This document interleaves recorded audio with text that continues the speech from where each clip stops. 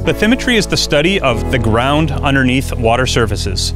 AltoMaxx is one of the only companies currently utilizing drone-based bathymetry payloads.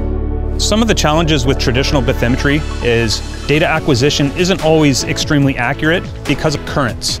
It takes a lot of time, which time equals money. We've got that figured out. There's no longer the need to bring in infrastructure such as a boat. We can fly where we want. We're not held back by river systems that are high currents or obstacles.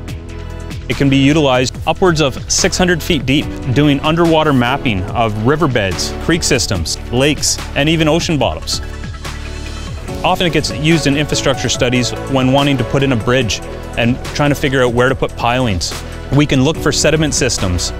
We can look at rock types. We can fly over wastewater treatment ponds, tailing ponds, and actually do sludge calculations that's much faster and less expensive than more conventional methods of doing so. Bathymetric surveys done over time can provide information and studies of coastline erosion, changes in sediment buildup, in water volume, water levels. This information is important for government ministries who are in charge of natural resources, industries who manage water control infrastructure such as dams, hydroelectric facilities, as well as fisheries.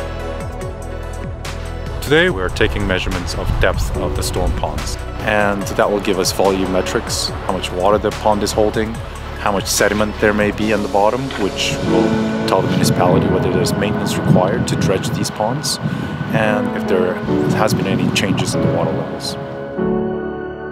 We use a dual frequency echo sounder, so it gives you a high frequency and a low frequency at the same time, which allows you to penetrate through layers of sediment, sludge, to get to the bottom of the pond.